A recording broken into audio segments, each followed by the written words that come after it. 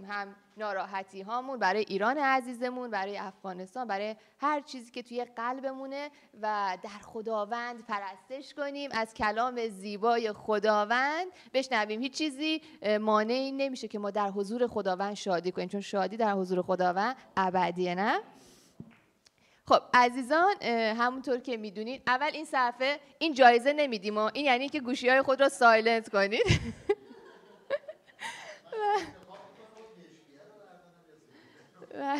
صفحه بعدی لطفا.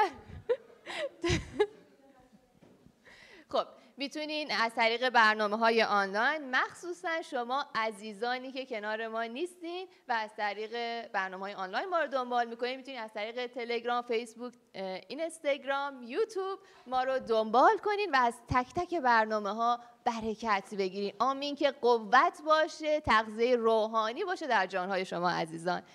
مثل هر هفته با یک دعای زیبا به حضور خداوند میریم و برنامه امروز رو شروع می‌کنیم. خب از خواهر عزیزم لارا درخواست می‌کنم که تشریف بیارم و برای ما دعا کنن. مرسی عزیزان.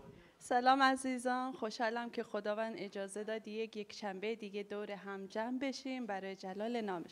می‌خوام جلسه رو به حضور خداوند ببریم با یه دعای زیبا. هللویا خداوند خدای قدوس خدای قادر مطلق خداوند یهوه. ای شبان اعظم گله خداوند عیسی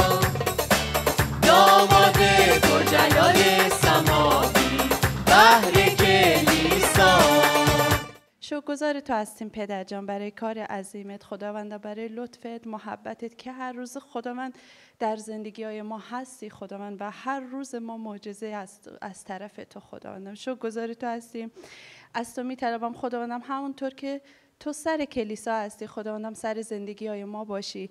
اولویت زندگی های ما تو باشی خداوندم. امروز به دستای تو می سپاریم خداوندم. کلامی که از دهان عزیزان خارج میشه خداوندم واعظ کلام رو به حضورت میاریم که هر چیزی که گفته میشه خداوندم با هدایت روح تو باشه و برای جلال نام تو. در نام زیبای عیسی مسیح جلسه رو به دستای تو می سپاریم آمین. پیروزی هست آزادی هست. پیروزی در نام تو عیسی. پر جلال است پر قدرت است. پر جلال تنها نام تو عیسی.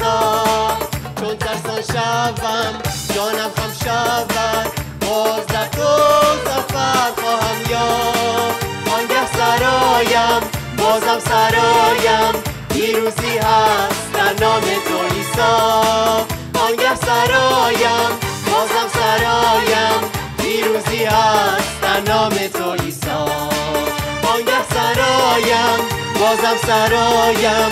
پیروزی هست نام تو ایسا بانگه سرایم بازم سرایم.